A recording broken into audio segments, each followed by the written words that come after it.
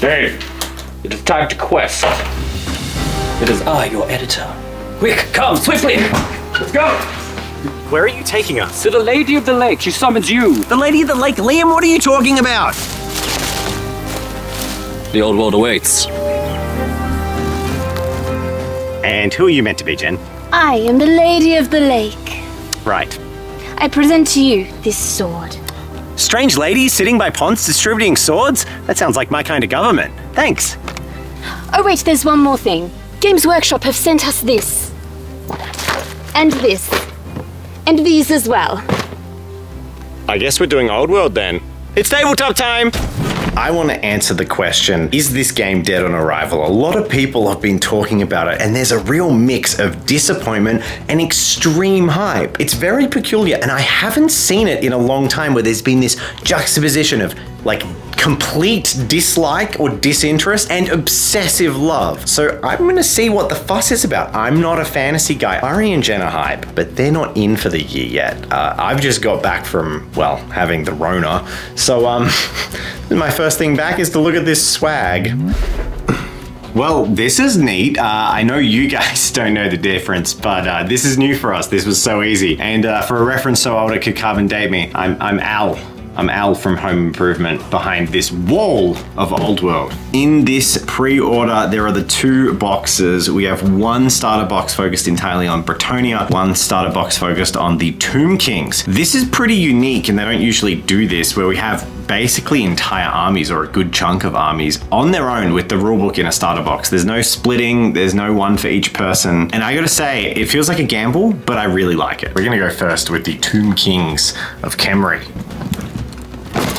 Oh my god, they're so old. Oh, why do they exist? Copyright 1993! Talk about the old world, man. I gotta say one thing off the bat. Uh, I'm just gonna get it out of the air. This is not my cuppa. This is funny because Jen and Murray are really keen on it, but both of them are away this week. So I'm checking out the game and having a good look. And they're gonna be taking uh, you on the painting journey and actually taking these armies. But for me, I like new pretty models and these skeletons have always, these skeletal horses always stood up as some of the oldest, lamest, just no. When I was 13 to 15, I didn't get into fantasy. And one of the reasons I didn't get into fantasy because half the minis were terrible and old. I think that problem's always plagued the Tomb Kings and in the old world with only some models getting plastics. I think it's going to continue where Warhammer Fantasy Battle armies seem to be split between like half of a range of really nice minis and then um, some very old ones. This brand new skeletal dragon thing only adds to that. Lots of skulls.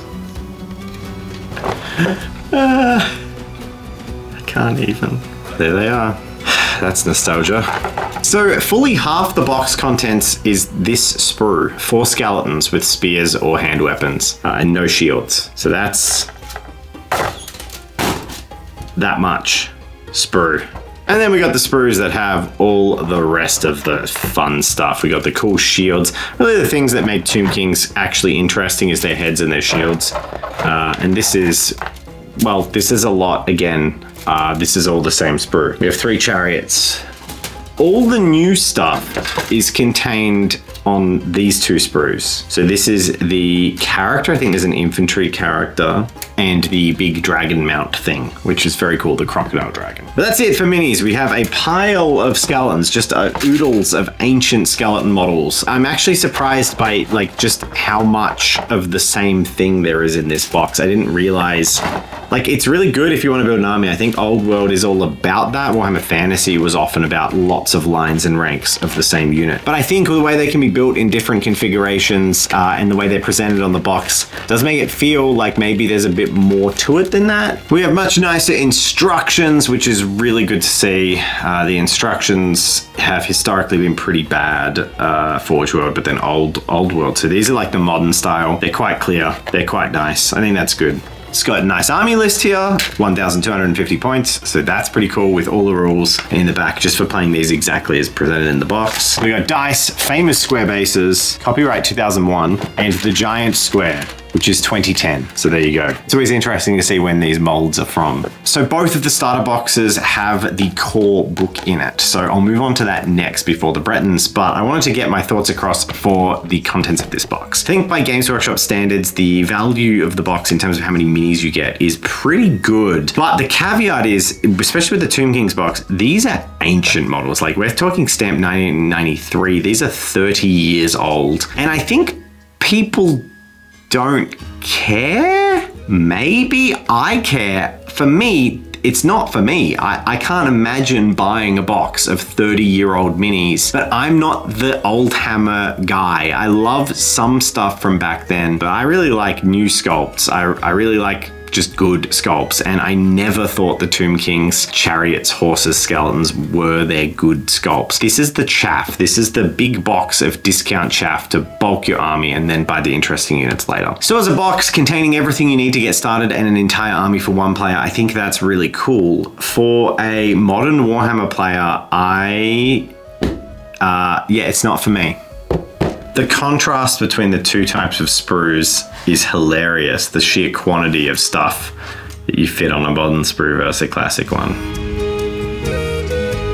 So looking through the books is a mix for me. It's a really cool experience. They seem pretty nicely laid out, like a really cool renewed presentation of the Warhammer Fantasy battles I tangentially looked at when I was in the hobby in my youth. The book goes through the lore, covering up to the point of the story that they're starting to tell, which is quite a step back from the end times. This gives a lot of narrative freedom in an era of history of the game where there's space for them to explore campaigns and for you to tell your stories, which I think think is pretty cool. A lot of the classic great art from Warhammer Fantasy Battle is represented here, as well as some old Citadel paint jobs in the display section. It really does feel like a relic of a bygone era. I spend a lot of time on the channel looking through old White Dwarfs and things like that, and I've seen these models recently in old white dwarfs. Alongside the rulebook and for this release, we have these arcane journals that have come out. And when I looked at this and flicked through it, I was quite excited. I thought this was really cool. They're slimmed down about 50 pages,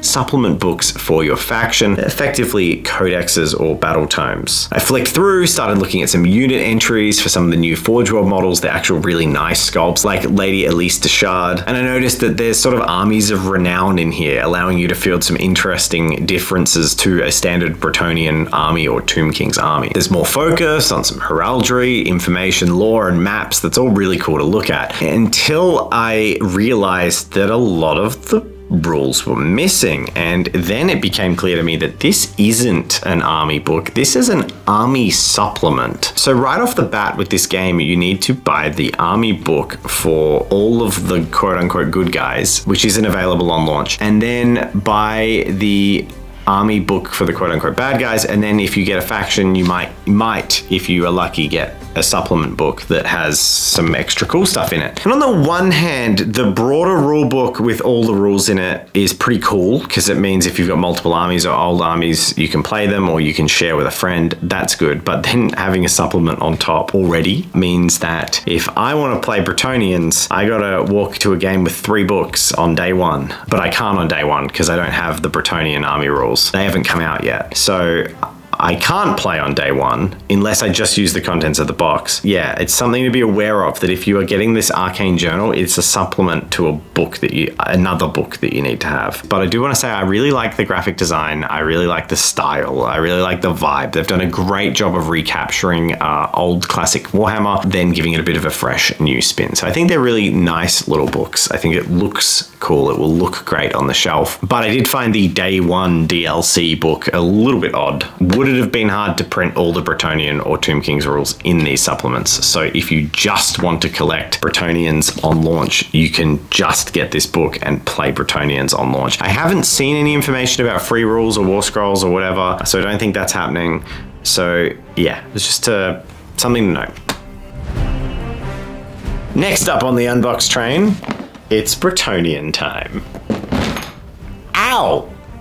Don't don't drop a box on your hand. These boxes are heavy. What the hell? Ah. Whippy six. That's obligatory. These are 40k templates. Copyright 1998, but I don't remember them being in uh, orange plastic in 98. This is odd. I don't understand the, the, the like little baggies. We get little, little baggies in these. Uh, like why aren't these on sprues? Were they sold in clam packs? All, the cavalry uh, and the Pegasus bits are all on little sprues. Oh, oh, a new sprue.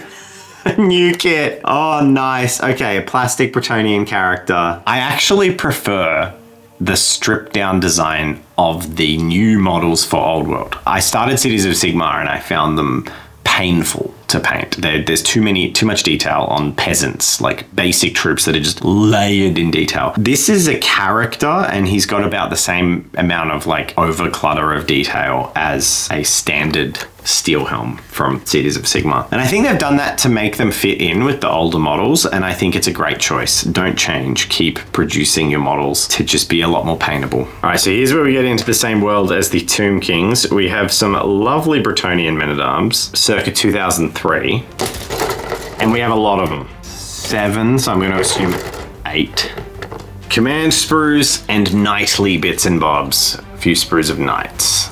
We have the glorious Pegasus man, the new Pegasus. This is the mount half where that original character I was showing off, this is the dude that goes on top. So together we have our new single new character in the box. I will say, I actually think the Bretonnians hold up a lot better. I don't really mind these models. The old skeletons, because they're skeletons and there was a minimum size that they could physically cast models, they just have always had weird proportions that the new skeletons completely avoid. Whereas the older Bretonnian models, they actually hold up a lot better uh, than I thought. The rest of the box contains uh, the same stuff as the Tomb Kings, but that's what's inside. So we have three knightly sprues, seven Bretonnian peasant sprues, four Bretonnian archer sprues, three command sprues, three sprues of horses, a miscellaneous baggies of horses and Pegasus Knight bits, and our chief character, who is very cool. Also in the first wave of model releases that are plastic, we didn't get sent any of the Forge World kits, and honestly, uh, they're the stuff we love. Jen was desperate to paint Lady Élisse Duchaard and also the handmade model. They're looking lovely, and some of the Bretonnian new knights on foot are gorgeous as well.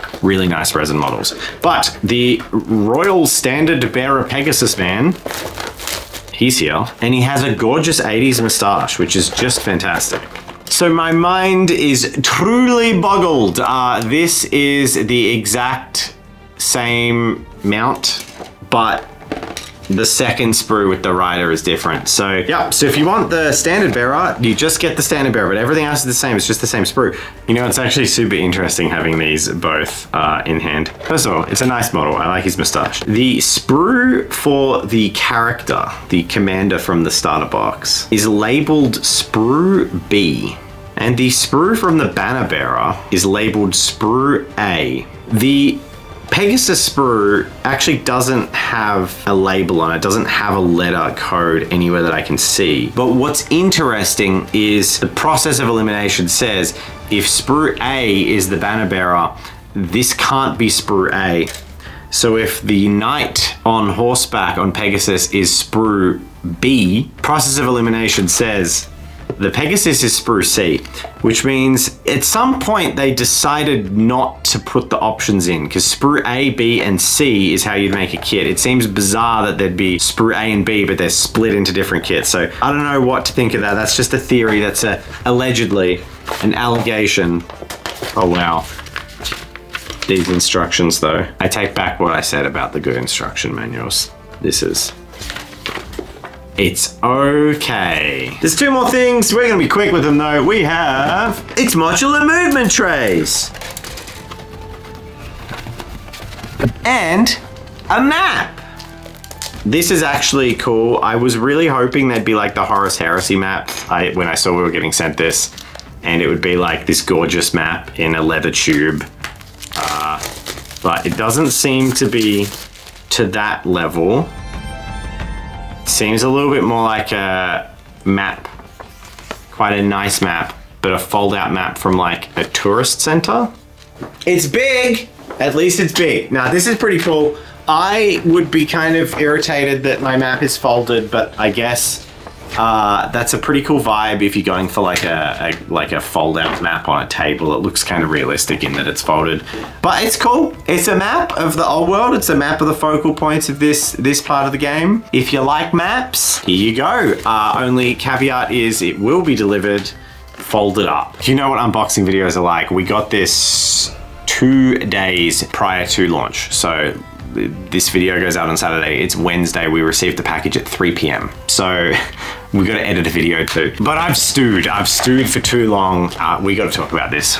So I am the impartial guy. I had no real thoughts coming into it, but looking through these boxes, I see a lot of love poured into a game for people who really care about the old world.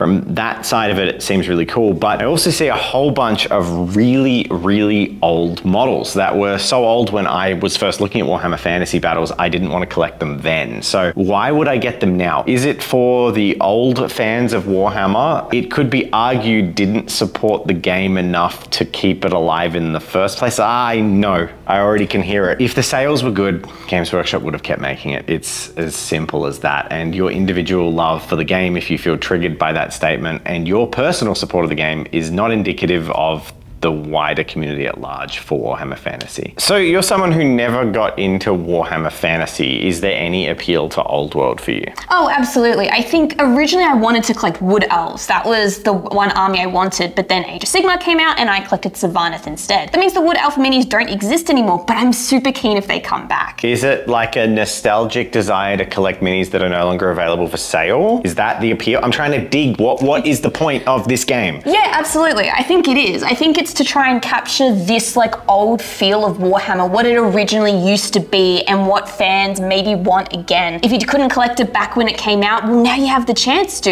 Even if they're older minis, some people like that nostalgia. Yeah, I think that's where I'm trying to figure everything out because this game doesn't look like it's going to be this huge range release. It's not going to get full scale plastic kit supports unless a lot of people buy it and it's really popular. And even then the Games Workshop cycle is what, three years? So it really seems to be a game for people who are nostalgic about Warhammer Fantasy, but maybe didn't get into it because if you did get into it, probably already have an army, right? So I also know you've got a little bit of a hang up on the older models, but I truly believe that any paint job can save away an old model look. So why don't we paint some up? Look, I'm willing to paint a Bretonnian man-at-arms. They seem kind of cool, and let's see if actually painting one of these models that I've looked at and just kind of shrugged at is good.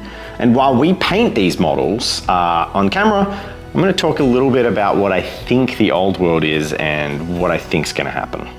Let's do it. So as you suggested, we're going to give painting a crack and this is fun. This is the first time we've ever used this rig setup. Uh, despite how it looks, this is actually way better than it was before. There was stuff that was sort of behind the scenes that really constricted how much movement we had. This is so much better. Well, the fact of the matter is we're sitting both side by side of the table, which we literally couldn't do before. Mm. And uh, I think it's interesting. We had a few comments on our rig setup video that are like, you've reduced the usable space. Uh, I don't think it showed on camera. Like my elbows are on the table table and at full extension it's just just hitting the rig. So we should have more space uh, than you'd think. It's still snug. It's a snug environment but um, I'm excited to get working. However if I'm gonna paint a million Bretonnians uh, I'm not painting them slowly, so I'm gonna only do maybe like an hour because uh, I want to see what you can get done on these old models quickly. Well, luckily enough, my guys are pretty much skeletons, so all I have to paint is skeletons. Uh, I think I've got it uh, pretty easy compared to you, so we should get to it. Let's do it.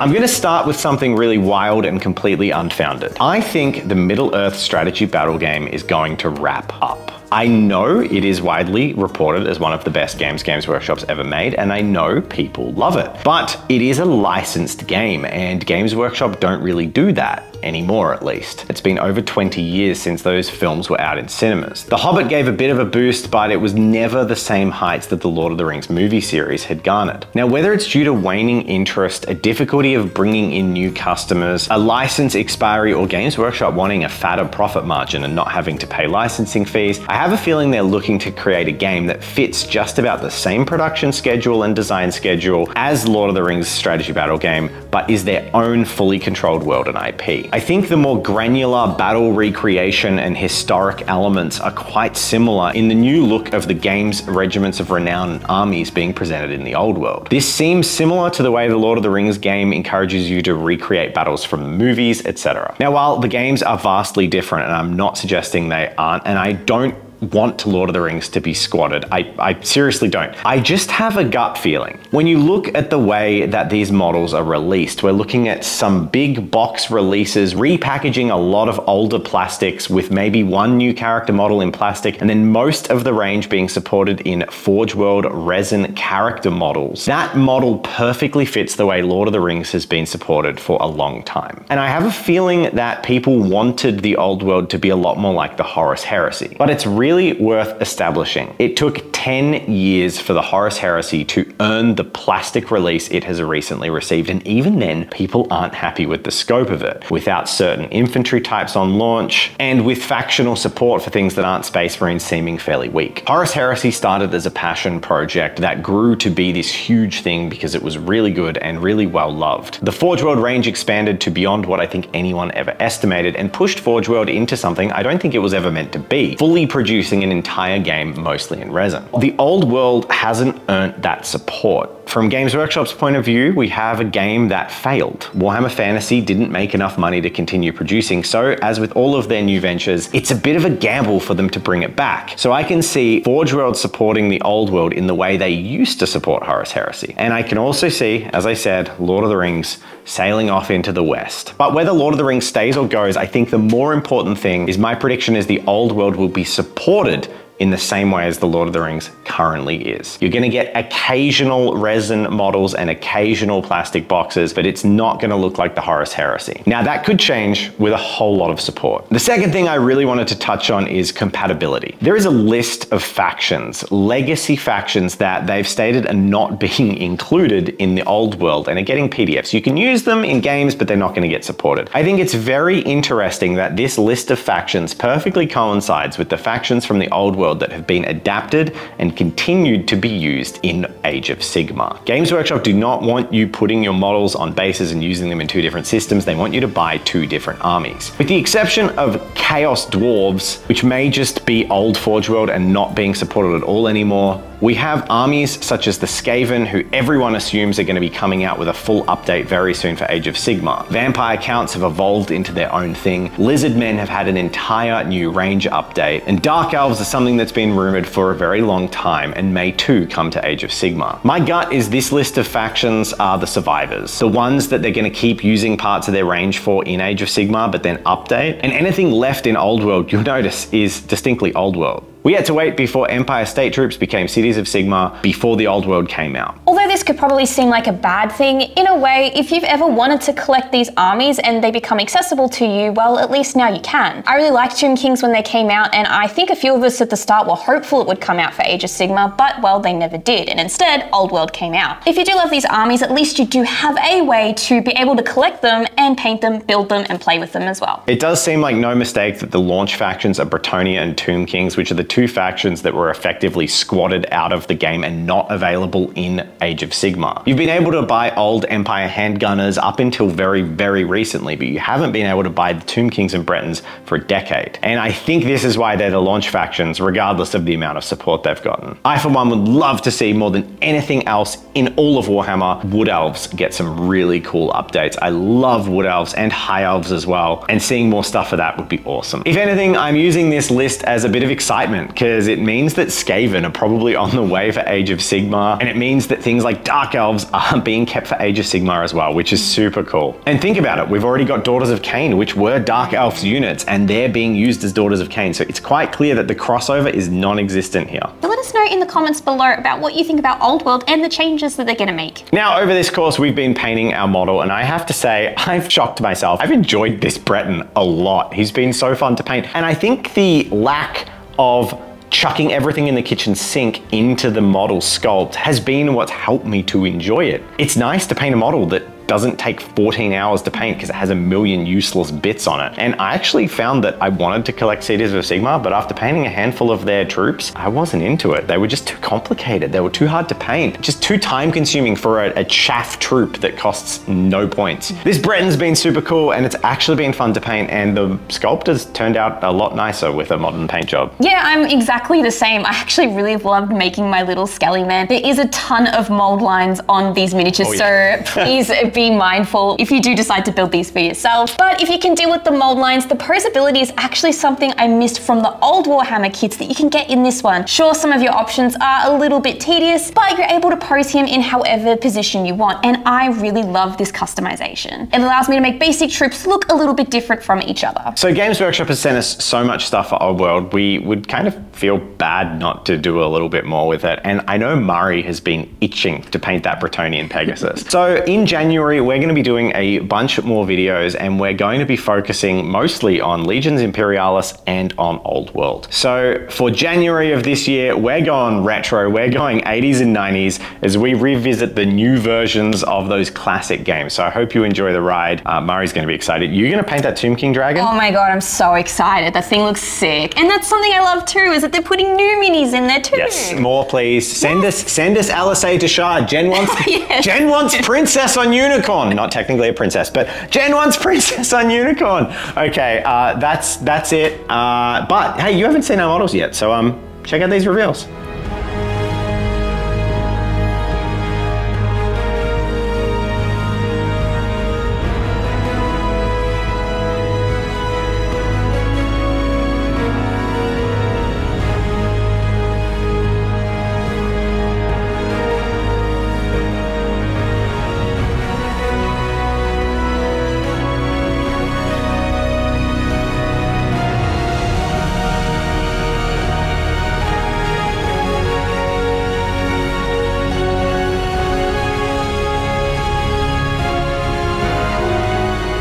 Like to thank our patrons for supporting us and allowing us to make these videos. Your support is super fantastic. We do a weekly behind the scenes video that is exclusive to Patreon where we talk about our previous releases, our upcoming releases, and basically just the vibe in the studio. It's a candid little look behind the scenes at my Monday morning experience. As well as that, we have a monthly mini review and a Discord for our patrons, so make sure to check it out if you want to get involved. You've all seen the reveals now, and the biggest surprise to me in the whole process is how much fun I had. I had so much more fun painting this Bretonnian than any of the Cities of Sigmar models, and that was a huge shock to me. I think what I realized is that Games Workshop really can be prone to putting too much detail on a model, and I always feel like I'm diffusing a bomb as I try and paint some tiny, tiny detail next to some other detail and 14 different textures. And this classic Bretonnian model with some modern paint styles painted really quickly turned out well, pretty well. I'm happy with this. Am I going to start collecting Old World? No! It was really fun painting one Bretonnian, not fun painting 80 Bretonnians. I get it though. This is cool and I guess old models aren't that bad. Jen was right. So, Liam, Thank you very much for taking me on this quest. I could see from the fact that you've handmade this entire Bretonnian costume. Thank you for introducing me to your world. And uh, what's what, what are you doing now? Are you just Your quest is complete, but mine must continue. I'm also taking this. uh, What? It's mine now. don't you have to edit the video? My journey takes me elsewhere. Oh well. What do you What do you mean? Where are you going? I have a new job now.